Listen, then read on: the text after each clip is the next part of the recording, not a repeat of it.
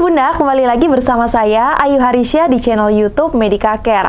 Saat menjalani proses kehamilan, pasti Bunda merasakan adanya perubahan yang terjadi seiring bertambahnya usia kehamilan. Dan perubahan yang paling terlihat adalah perubahan kulit yang menjadi lebih kering dan kusam. Lalu bagaimana ya cara mengatasinya agar kulit Bunda tetap sehat dan juga glowing selama hamil? Yuk simak tipsnya di video berikut ini. Seringkali terjadinya perubahan hormonal selama kehamilan menyebabkan kulit bunda menjadi lebih kering dan juga tampak lebih kusam. Ada nggak sih bunda di sini yang merasakan hal ini? Lalu gimana ya dok cara mengatasinya? Nah, untuk mengatasi kondisi ini, bunda bisa melakukan beberapa cara.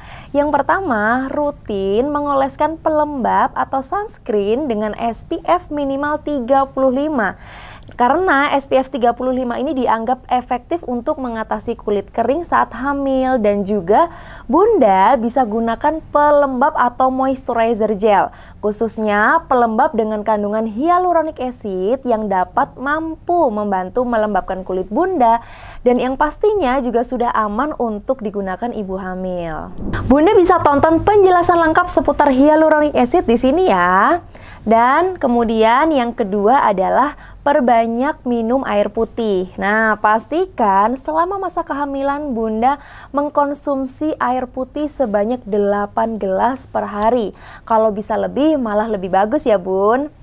Karena minum air putih ini sangat bermanfaat sekali untuk kulit bunda agar menjadi lebih lembab. Yang ketiga, mandi menggunakan air hangat. Bunda bisa mengurangi kulit kering dengan mandi menggunakan air hangat. Akan tetapi, jangan terlalu lama ya, karena dapat membuat kulit menjadi lebih kering. Dan yang terakhir adalah mengkonsumsi makanan sehat seperti makan buah dan juga sayur. Tidak hanya bermanfaat untuk tubuh, mengkonsumsi buah dan juga sayur juga sangat bagus untuk kulit loh bun. Khususnya buah dan sayuran yang mengandung vitamin E seperti alpukat, bayam, dan juga kacang almond.